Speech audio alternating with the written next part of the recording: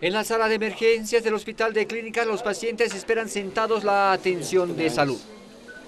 Los médicos afirman que esta situación es normal luego del feriado de fin de año. Claro, sin olvidar el paro médico. Pero las personas con discapacidad apelan al diálogo para que el gobierno y los médicos solucionen el problema. Eh, pediría también al gobierno que escuche a todos los médicos que durante este mes han protestado, Puede ser que tengan la razón, pero que se sienten, que dialoguen, porque nosotros, las personas con discapacidad, necesitamos la atención. En los casi 40 días de paro médico, las personas con discapacidad señalaron que un promedio de 300 personas no se carnetizaron porque no existe atención en los primeros niveles de salud.